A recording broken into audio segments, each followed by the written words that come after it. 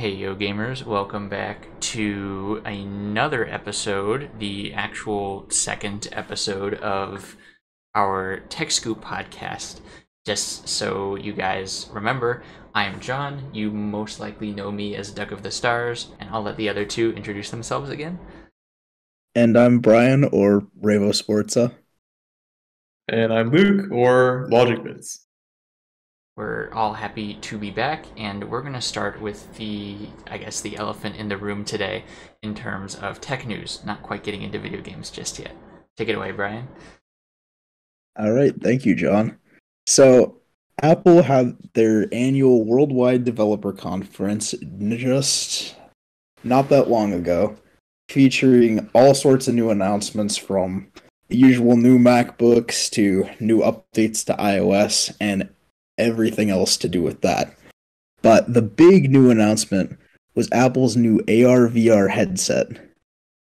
They are marketing this thing as if this is going to completely change the game and potentially like not necessarily replace the iPhone or the MacBook, but be something that can like serve as all of them.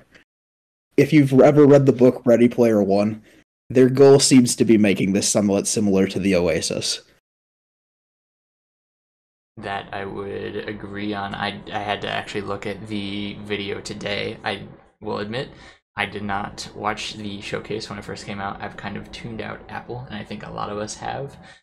I know a lot of us have not, but uh, I digress.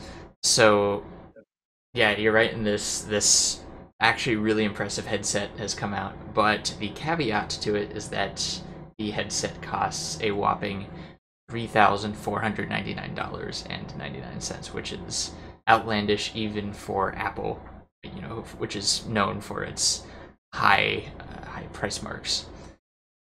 Which, right. as we know, is a typical thing for Apple. And I mean, looking at the specs of the headset itself, we're looking at greater than 4K resolution in each eye, I don't believe they shared specific uh, too much more specifics in relatively typical Apple fashion, but the marketing demonstration showed some possible use cases, including like displaying multiple movies with Disney Plus, or say watching multiple sports events. It's Apple. It's obvious that Apple intends this to be a device for all purposes, from watching sports to watching movies to gaming as well, and seems to be part of their larger ambition into getting more into gaming in general. Anyway, Luke, I think you had something. Yeah, I was just going to add that um, this Apple headset is definitely sort of a continuation of um, what Apple is trying to do lately with sort of carving out their own uh, market segment for things that are really difficult to compare just in terms of product to product alone.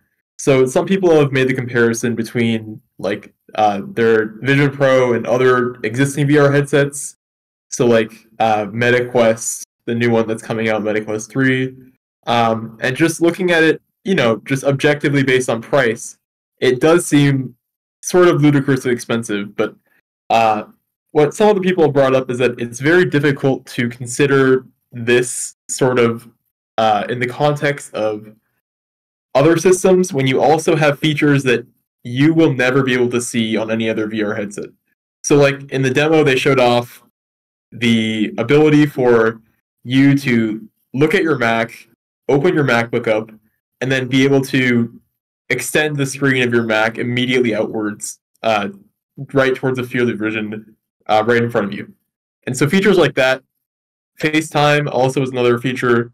Those kind of things are difficult to compare because they don't exist in any form and they will never exist most likely on other competitors. Especially given apple's nature of keeping their own features to themselves in pretty much all contexts.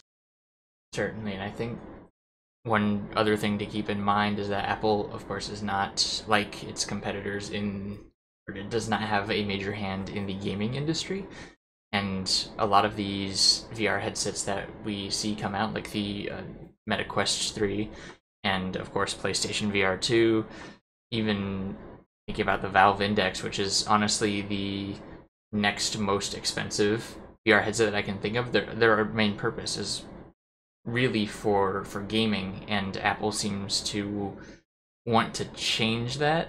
And I, I'm not sure how that's going to work because as far as VR technology goes, its prime audience for for pretty much all of its existence has been gamers.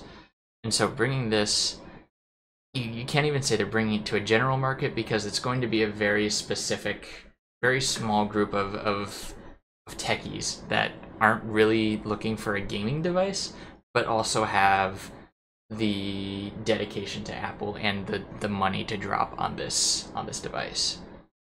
And as John touched on just now, the the overall market for this headset will not be the general population, and I think that's pretty obvious, especially given it's a first generation unit. It's possible that in time, maybe material costs will go down, and thereby it will be more exp- or more uh, cheap for the general audience. But as of now, Apple's intent is clearly not for you know per- every person down the street to own one of these. Aside from that, though, the only other real thing to note in regards to other Apple news so, as I touched on earlier, iOS 17 was announced with a whole host of new improvements. One of the like most minute ones, but will save so much time for any of y'all that use iOS, is the improved autocorrect. As we know, iOS autocorrect leaves a little bit to be desired, so any improvements there are definitely welcome. Furthermore, it's rumored that due to mounting EU pressure on Apple, Sideloading support, which is the ability to install an app from a source other than the App Store, may be coming to iOS soon. Which, if that is true, that would be absolutely huge for really everyone on iOS. The last bit of Apple news, though, is so some context needs to be established first. A while back, Valve, the owners of Steam, developed a tool called Proton to run essentially games designed for Windows on Linux. This was to make Linux gaming better in general and also prepare games to actually be able to run on their upcoming piece of hardware, the Valve Steam Deck. And it has largely been very successful, with exception to a few e- anti cheat issues here and there. But Apple's essentially made their own version of this, which will theoretically work to translate Windows calls into stuff that will work on Mac OS, as well as convert it over architecture wise, because the architecture of Mac of modern Macs is not the same as most modern PCs. So theoretically, this could allow developers to more easily port Windows games to Mac, which will be great for growing gaming on Mac OS. And uh, on that topic of gaming, I guess we'll get right into consoles. I, I know that it's probably what a lot of you here are looking forward to. Um, although I, I do admit I have a pretty large PC fan base here. However, we're going to start with PlayStation, which honestly, last week, we, or not last week, a couple weeks ago now, we had a good amount to talk about with the PlayStation Showcase. And kind of unfortunately, the only thing going on with PlayStation right now is the fact that they have a new SSD or one of their SSD developers has a new version out. And this is by WD Black, which has made PlayStation 5 compatible um, SSDs since the PS5 came out.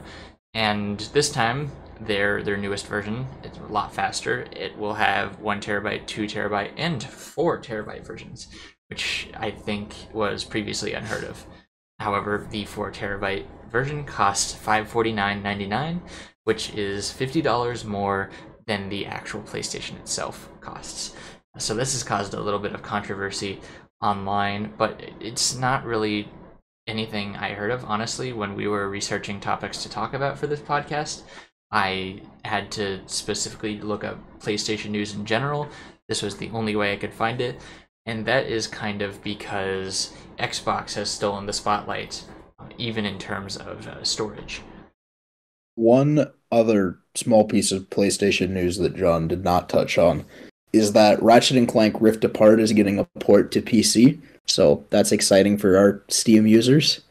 But anyway, as John said, let's switch it over to Xbox.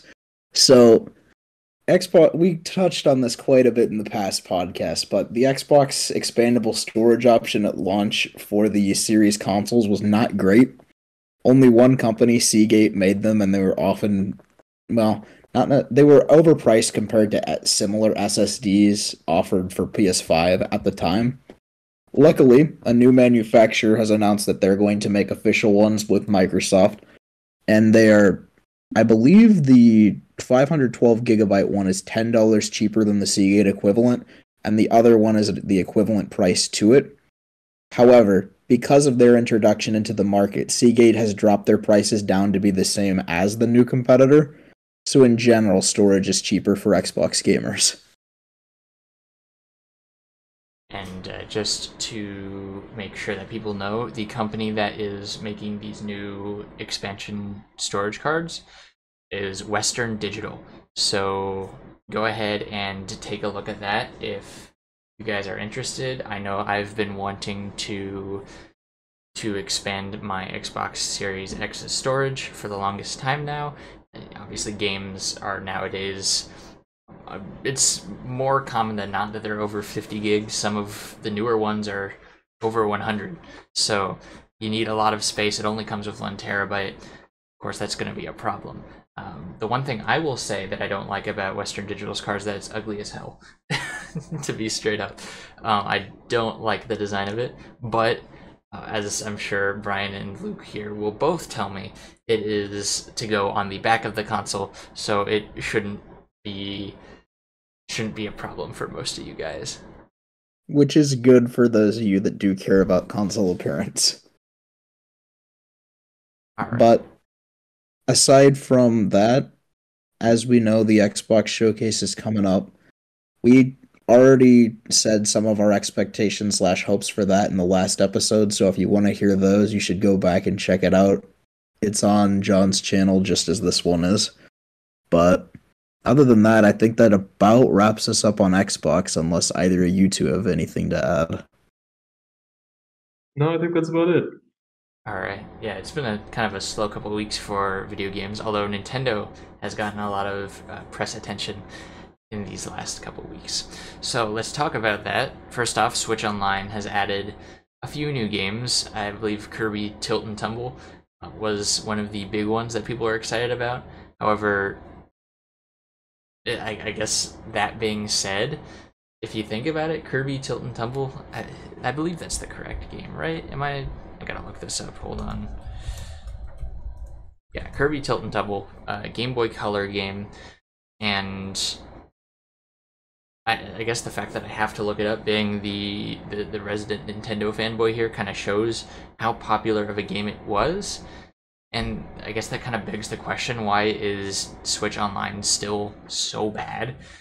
I, I do want to say that they have improved significantly since since I guess you know even when they started but even in the last couple of years there have been great improvements with the addition of nintendo 64 genesis game boy game boy advance games but that being said still we have yet to see anything like ds games gamecube games and nintendo is, is fully aware that these can run on switch you know they were able to port and remaster Xenoblade Chronicles, for example, a Wii game and a pretty late and heavy Wii game. So as, as to why Super Mario Galaxy as well. Yes, Super Mario Galaxy. That one, and obviously looked great on Switch. It ran just fine. Um, if you're a fan of replacing the Wiimote with Joy Cons, I know a lot of people are. A lot of people aren't. It's whatever. Obviously, we've seen examples of them porting GameCube games in the past, but even with the one GameCube game I can think of, Super Mario Sunshine, that's not technically available anymore. I'm sure you can still find a copy of 3D All Stars, but they made it physical only for a limited time. Or was it digital? It was offered digitally during that window, but for some reason the entire release was limited, and I still don't understand that decision. And see, this comes with the greater issue of Nintendo and its iron grip on older content. Take, for example, let's use GameCube again. Another piece of news that just came out the Dolphin emulator was trying to port, of course, Dolphin to the Steam Deck. Or was it Steam in general? I'm gonna I'm gonna let Brian or Luke answer this one as I'm not too aware as to what they're exactly trying to do both Steam and the Steam Deck. Essentially, by putting it on Steam, it would have worked more integrated with the Steam Deck. You can currently use it on Steam Deck, but you have to get it without, not through Steam. So this would have just made it easier on end users. Sure. Okay, so in that case, they were going to put it on Steam, and Valve worked with Nintendo to take it down. Valve wanted to take a laissez faire approach, or yes, they, they didn't want to touch Nintendo's uh, hot privacy or piracy issue. Not privacy, piracy. Yeah. Nintendo is huge on combating piracy. Of course, emulators is technically one of the or emulators are technically one of the ways you can you can pirate games. But you realistically it's yeah, okay. In Nintendo's defense, realistically, the vast majority of people using these emulators are using them to pirate it. But that also comes at the reason that Nintendo is not releasing their older games. I'm sure there are plenty of people who would love to play all of their GameCube games, their Nintendo 64 games that aren't released on the Nintendo Online uh, expansion pass you know all these games could be available but aren't. And so people are turning to emulators because they're too damn expensive to purchase for the average person. Um, and you can't get them on the original platform that they were intended for anymore as well. And then furthermore I, arguably the old virtual console offered on both wii and wii u is still superior to the modern switch online offering. Certainly. They obviously have ds and wii games on on Virtual Console on the or they did on the Wii U, but of course you can't buy those anymore. So the one outlet people had to buy a, a certain select few Nintendo DS and Wii games is now gone. So what are you gonna do? You're gonna turn to piracy because nobody, no nobody normal uh, wants to go out and collect every single console. I'm I'm a bit of an outlier, I will admit. So one thing I will add, emulation has explicitly been held up as legal by the by US courts. And this was I believe from the case of Bleem versus Sony ages ago. But Nintendo holds that emulation is harmful to developers itself. Whether or not you agree with that is a topic for another day, but Right. Yeah. And this specific DCMA takedown is a little bit more complicated, um, just due to the nature of what Nintendo was targeting. I believe that um, Nintendo's argument was that because Dolphin Emulator includes certain encryption keys that are used that are necessary to run uh, certain Wii games, um, they were trying to argue that those encryption keys are copyrighted works by Nintendo, and so they can't be included inside the emulators files. Even though they are present in every single Wii, um, it's sort of a uh, legally untested area in terms of whether or not uh, it would be really uh, in the spirit of the DCMA and that you could actually copyright uh, encryption keys that were generated by your company, uh, but that remains to be seen in court but obviously the as Luke said, it's not clear cut one way or the other. So any ruling in any direction could have far reaching consequences on emulation.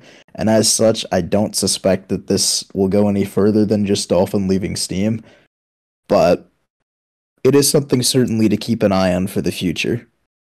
Certainly a setback for a lot of people who want to play some of the old games they did in their childhood, maybe don't have their hardware. Um, of course, we're not going to condone piracy on here.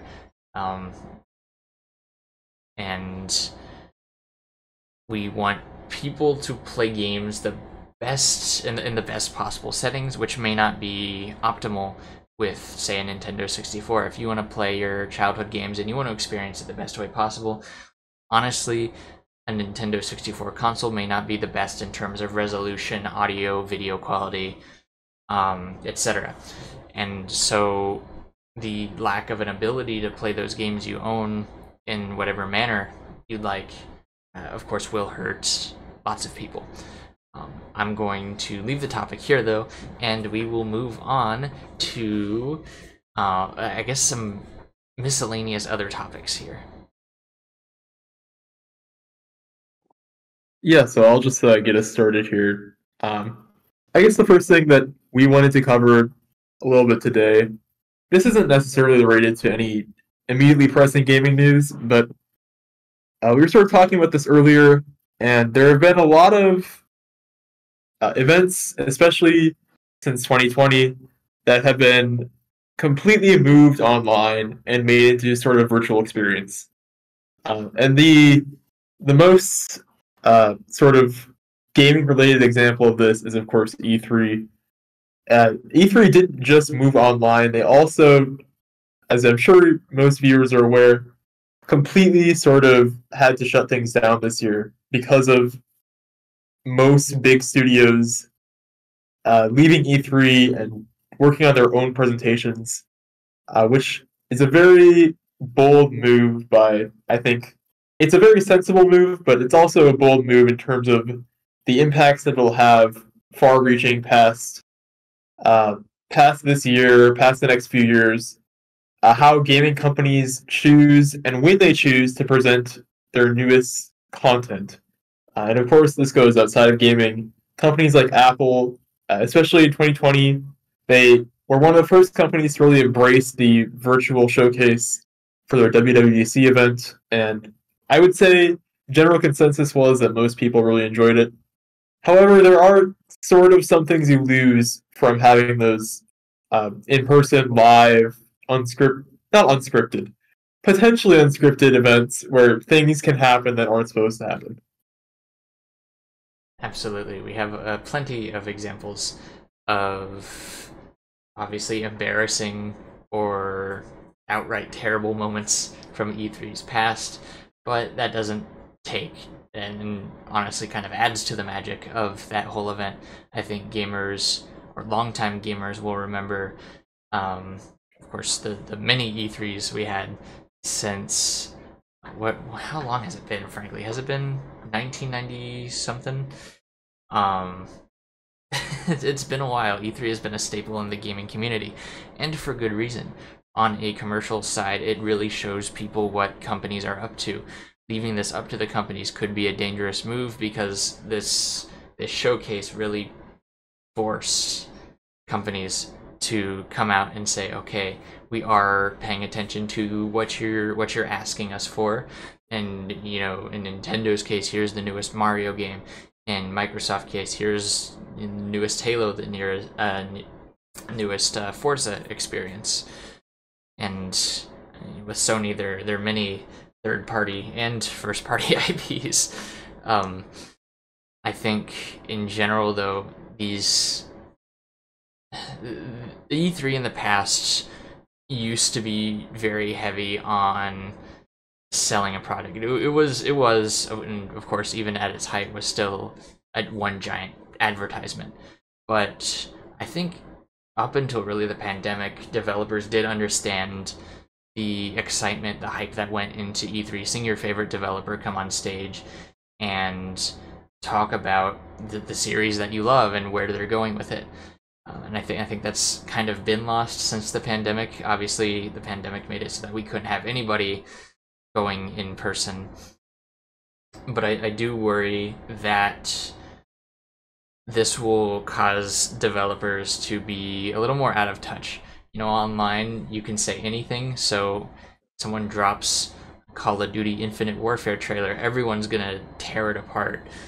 Um, but the people who are coming to your E3 show, those are your those are your most hardcore fans. You're gonna you're gonna hear the most, um, I guess, the most loyal feedback from them, and even losing touch with your core audience, it might make I, I know that a lot of people have issues recently with games feeling soulless. I, I worry that this might make them even more so. If you understand where I'm coming from. Yeah, no, exactly. And I, I think a recent example of that that ties perfectly into what you're saying is, uh, ah, man, I don't remember exactly what company it was. It might have been, mm, was it, was it Blizzard? The they had some live event, and this was a few years ago. They announced some sort of mobile game that did not resonate at all with fans, and I think uh, the presenter on stage said something that was very, uh, very tactless uh, something like, "Don't you guys have phones?" Completely missing the entire point of why all the fans were not excited about the game. And so these kind of online presentations are going to remove any sense of community and transparency between um, the people who are actually playing the games and the people developing the games. Absolutely, and without, of course, their other option would be to make I don't know something like surveys to fill out, and nobody nobody likes filling out surveys. So this was a fun way for gamers to connect with the the developers of the games they loved most. And losing this does feel like a a link is being severed between the gaming community. Yeah. In general, there like as they said, there are many, many drawbacks to the digital format. Obviously, for some companies like Nintendo with the Nintendo Direct format, it has definitely engaged fans and it works well in some ways and bad in others. But it would be nice to have a balance between the old style in person events and the modern digital events rather than being all digital. All right. But well, aside from that, I think we shall move on to the next item, which just, I believe it was yesterday, or maybe it was earlier today. I don't remember for certain, but Capcom recently announced that they are going to have their own showcase during the Summer Games Fest overall timing. So they didn't say any real specifics about like what to expect there or anything, but obviously, for Luke and myself, we're hoping to see a sequel to Ace Attorney we were definitely in the minority there, but we very much like the game series. Absolutely, it's not very likely to see it in this showcase, uh, but of course, with the whole Capcom leak that happened around 2020, uh, um, they did reveal that Ace Attorney Seven was uh, potentially in development. So it's possible that we could see a release around 2023 or 2024 if we're lucky. Although the likelihood of seeing this at this event is pretty low aside from that, we're going to see the usual stuff around presumably Resident Evil and Monster Hunter. They are Capcom's two biggest franchises They have a lot of fans, and I'm sure that both fan bases will be excited to see what's next, whether that be a new entry in the series, a remaster, etc. And speaking of Resident Evil, I saw on at least in the last week or so Capcom sent out a thing to some Resident Evil fans asking what games they should remake next. And given how well the Resident Evil 4 remake was received, it stands to reason that the new one will be good as well. I do I do think that in saying that Resident Evil and Monster Hunter were the two biggest franchises of Capcom's, you may have unleashed uh, some some angry fanboys. Uh, of course, they're also known for such titles as Mega Man. I don't think we're going to see anything Mega Man related. That's kind of a touchy subject since I guess modern Mega Man isn't seen very received very well by gamers. Uh, of the other one, of course, being Street Fighter, which I'm sure will make an appearance in some way or another. They'll find another way to remake Street Fighter 2, and I know that uh, that five will be uh, if if it's not out already, it's on the way. I do not six. Six. There you go. You can tell I'm not a Street Fighter fan. Which Street Fighter Six has introduced a lot of cool new features, especially to the series, and has also made it a little bit more friendly for beginners as well with a certain control method mode. So that's exciting as well. Although admittedly, no one present here plays that much Street Fighter. Sorry, if you're looking for a Street Fighter podcast, this is probably not the place to look. aside from that, maybe we might see some more about Exoprimal, which is a new upcoming Capcom IP that will launch day one on Game Pass. We don't know a lot about it, to be honest, but I have hopes that it'll be good. And obviously, there's a pretty decent chance of some random game series making a resurgence. Capcom has a treasure trove worth of old IPs that, like Nintendo, they don't always do that much with.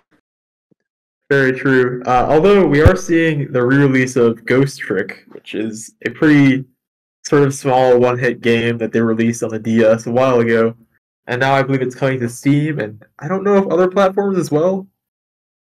I Any ideas? The only thing I know of for certain is Steam, but don't take that as a fact. It's very well possible it might be coming to modern consoles too. Anyway, though, that about wraps us up with Capcom. And while this next thing is not confirmed, traditionally speaking, Nintendo has often done a direct during what would have been E3 season. So we're going to give you just some thoughts about what we want to see from a hypothetical Nintendo Direct that has a good chance of happening, but once again is not confirmed to be happening yet. And Nintendo does have the tendency to just drop their directs, you know, the next day after they announce them. So it, could be, it could be any day this month. Um, however, I'm not sure what exactly Nintendo fans should expect at this point. I'm not sure if Nintendo is even planning anything because Tears of the Kingdom, I guess, was their big release for this year. It's come out and they're kind of just sitting on that. I'm getting constant ads for Tears of the Kingdom and of course the the barrage of articles surrounding it. You cannot escape it anywhere you go. Um, that being said, I think their next big projects, even on the Nintendo Switch, are limited. You have Metroid Prime 4. I know people have rumored that a new 2D Mario is in the works, but this this to me kind of felt like the swan song to to the Nintendo Switch. You know, it, it started with with Breath of the Wild, and here's this game that's that's so much bigger. It's Breath of the Wild, literally Breath of the Wild, and so much more. What can they really feasibly do on Nintendo Switch hardware going forward while still uh, still pleasing their longtime and new fans? I think I speak for everyone in the gaming community when we want to see a successor to the Switch, but realistically, if that were to happen, it would happen at their live event happening this September. Again, talked about this last episode. If you're looking to go, you do need a Nintendo account, a Nintendo Network ID. Um, but as long as you have that, you should sign up for that. You get a you get a chance to win uh, spots to go. Which is definitely a cool thing that Nintendo's doing for fans.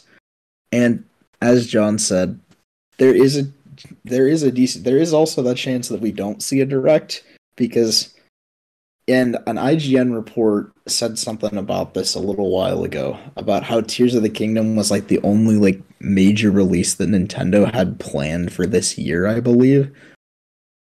At least at a system seller level, because obviously there are still some other games coming out. But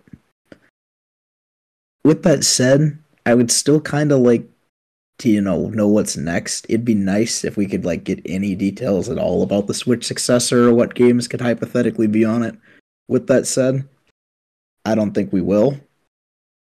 But that's just Nintendo for you.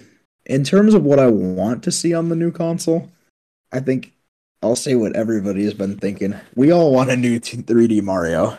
It's been a hot sec since Odyssey, and 3D Mario is always are a lot of fun and have a lot of creativity and thought put into how they're made as well. I think you make a good point, although I do I would consider that as those are the top system sellers for Nintendo, that the next 3D Mario would be on of course the new console and as much as I'd want to see all the specs for that if they were to announce it, I figure it would be much in the same light as Switch where they just show it off, say, look, it's coming. You know, good luck trying to figure out how powerful it is. We don't care. Yep. that is what Nintendo did for the Switch, and that is what I have a feeling they will do for the Switch too. But some other stuff that I would personally like to see.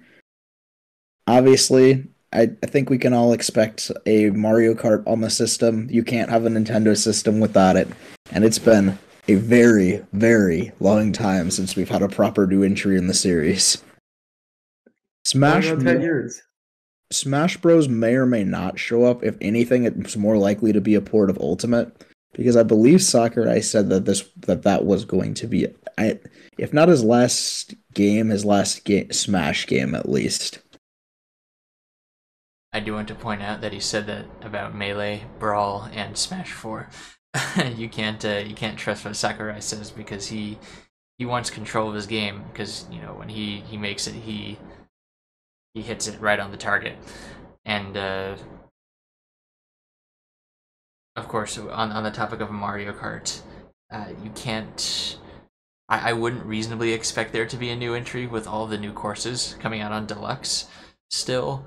Um, again I have my my issues with the deluxe. You can see a whole video I made about that but unfortunately, I, I don't think a new Mario Kart is on the table for at least another year or two.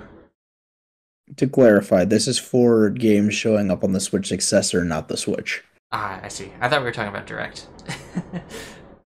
well, I I mostly agree with you that we're likely not going to see anything more major on the Switch itself. So this is more so for the future. I get you. Oh well, in that I, case, I, I do want to hear what Luke says before we move on. Yeah, I mean, obviously, Mario Kart 9 would be very exciting to see. Um, I think, uh, man, I don't know. It if I had to throw one out there that was just kind of probably not going to happen, but I totally have to see it. I think a new Chibi Robo game would be really fun, especially with all the things you can do on the Switch now. I could totally see that, and also give Chibi Robo a like proper chance to actually do well for once. Yeah. Because there's quite the history with Chibi Robo games having some sort of handicap put on them that has resulted in underperformance.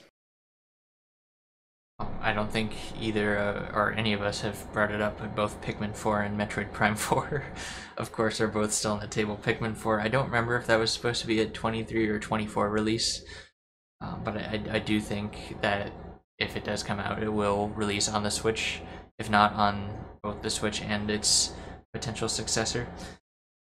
Um, I guess we'll have to see. Obviously, this is a, a bit of a confusing time for Nintendo fans. We don't know what's going to be on what, um, but we do know something is probably in the works, hopefully, as Nintendo seems to be losing a lot of their momentum they've had in the last couple years especially with the increasing gaining momentum of the PS5, which has been much to the detriment of Xbox as well. I guess. Though I I do think it's entirely fair to say that Nintendo definitely the traditional console war in that sense is firmly between Xbox and PlayStation. Nintendo is firmly sailing their own ship. Oh, certainly, and it seems like Xbox is trying to do the same, but you really can't, uh, really can't not compare the three, given they all have been historical rivals to each other. Um, and I guess going back into history, I believe we wanted to cover, um, going forward, at least one major console highlight per month, just talking about I had I guess the games, what it did for the industry, and maybe some game recommendations that you can find either on the original console or uh, ported to a different a different device. That much is true. We at as of next episode we'll be discussing the Nintendo 64 to get us started. That should be a good one because we have let's just say some differing opinions on various aspects various aspects of the Nintendo 64. I think that's a fair way to put it, wouldn't you guys say? Oh, I, I definitely broad range.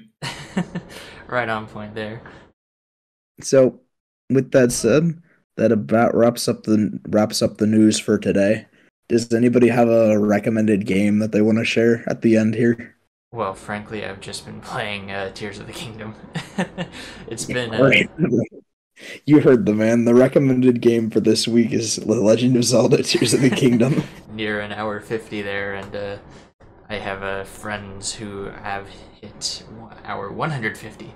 So you know that you are getting what you pay for.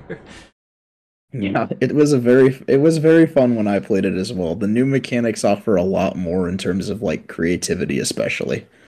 we'll But- try and have something a little more niche. And I'm sorry, unless Luke, I know we haven't given you a chance to talk. Do you have anything, anything you can recommend at all? oh man. Um. Okay, this one's gonna be kind of out there, but uh, I would say Super Monkey Ball for the Game Boy Advance. It was a very interesting game. All right. Definitely, uh, kind of surreal to see it actually running on the Game Boy Advance, and it was kind of enjoyable. All right, fair enough. That was certainly not quite what I was expecting you to say, but There you go. So, That- question then: Is it only on Game Boy Advance, or is it now uh now on Well- other platforms? I believe the Game Boy Advance version uh, is. I mean, the levels are very, uh, very surface level in terms of like the sort of scenery and all the platforms. So I don't think there's really much merit to porting it to better systems. Uh, but for the 3D capabilities that the GBA had, uh, it was pretty impressive. Is this by any chance Super Monkey Ball Junior? Uh, is that it? I'd have to double check. you know what? That's what I It might be it. Too. Like Super Monkey Ball GBA, but uh, that seems to be the Okay, one. it was. It was It was. In that case, So- it's an arcade game, and interesting. uh, is it? What the hell? it looks like it's Interesting that they on the managed- N-Gage. All right. Well, go get out your N-Gages, guys, and uh, go play Super Monkey Ball Junior. with that very out there suggestion from Luke, though, I think that about wraps us up for today, unless either of you have anything else to add. um, I don't think Nope. I do. All right. In that case, thank you all for watching as always. You'll find the links to our channels in the description. This should go live hopefully relatively soon on the Duck of the Starz channel. And as always, see you in the next one.